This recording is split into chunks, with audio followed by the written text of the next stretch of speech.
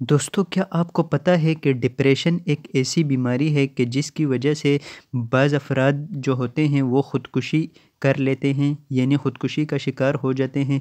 तो दोस्तों, खुदा न हास्ता अगर आपको भी ये बीमारी है, यानी आप भी ये महसूस करते हैं कि आप जहनी मसाइल का शिकार हैं या आपको डिप्रेशन है या इसी तरह का मतलब एनजाइटी वगैरह आपको है तो आपको चाहिए कि आप इस वीडियो को एंड तक फुल वॉच कीजिए, क्योंकि इसमें आपको एक कुरानी अमल बताने लगा हूँ।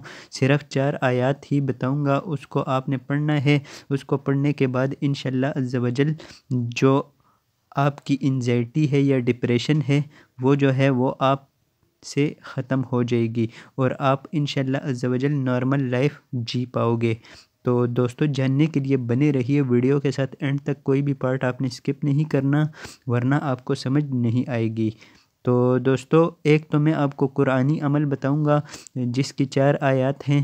और एक मैं आपको इसके अलावा भी एक अमल बता देता हूँ, लेकिन उसमें आपने कुछ प्रैक्टिकल भी करना होगा। तो चलिए दोस्तों, आपका कीमती वक्त ज़ाया किए बगैर आपको बता देता हूँ, लेकिन उससे पहले इस वीडियो को एक लाइक कर दीजिए दोस्तों। इससे होता यह है कि हमारी हौसला अफजाई हो जाती है और हम नेक्स्ट आपके लिए अच्छा अच्छा कंटेंट लाने की कोशिश करते हैं। तो दोस्तों, वीडियो को एक लाइक कर दीजिए। और दोस्तों, अगर आपके पास थोड़ा सा भी टाइम हो तो इस चैनल को सब्सक्राइब कर दें, क्योंकि आइंदा इन शवजल आपको इसी तरह के वज़ाइफ की वीडियोज़ इस चैनल पर मिलती रहेंगी। तो दोस्तों, वो अमल वो वजीफ़ा क्या है, वो मैं आपको बता देता हूँ। वो अमल ये है दोस्तों कि आपने, अगर आप जहनी मसाइल का शिकार हैं, या इसमें शुगर और ब्लड प्रेशर भी आ जाता है, अगर उसका भी आप शिकार हैं तो आपको चाहिए कि आप सूर्य मोमिन की आखिरी चार आयात और अजान, यानी आखिरी चार आयात आप पढ़ लिया करें रोज़ाना। एक एक मरतबा ही पढ़ लिया करें। रोज़ाना इन एक महीने के अंदर अंदर आपको असर महसूस हो जाएगा। और अज़ान जो है दोस्तों, दिन में सात मरतबा पढ़ लिया कीजिए या किसी मोबाइल वगैरह में अज़ान रिकॉर्ड करके सात मरतबा दिन में सुन लिया कीजिए। इन शजल इससे आपकी डिप्रेशन की जो बीमारी है वो ख़त्म हो जाएगी। तो दोस्तों, अब बाज़ात होता यह है कि जिसको भी डिप्रेशन की बीमारी होती है उसको नींद नहीं आती। यानी जब भी वो सोने लगते हैं, उनको नींद आती ही नहीं है।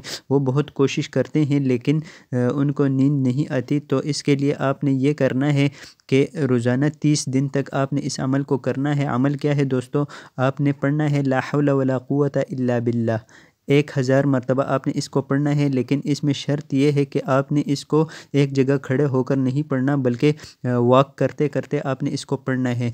तो एक हज़ार मरतबा जब आप पढ़ेंगे तो इन अज़्ज़वजल, इस अमल का इतना असर होगा कि रात को आप जैसे ही बिस्तर पर लेटेंगे तो आपको नींद आ जाएगी। क्योंकि दोस्तों लाहौलवलाक़वत बिल्ला के बारे में रसूल अलैहि वसल्लम ने फरमाया कि ये जन्नत के ख़जानों में से एक ख़जाना है।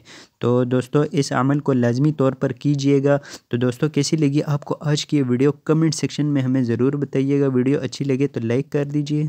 और अगर आप इस चैनल पर नए हैं तो सब्सक्राइब कर दीजिए। आज की वीडियो में बस इतना ही। मिलते हैं किसी और वीडियो में। मुझे दीजिए इजाज़त। अल्लाह हाफिज़।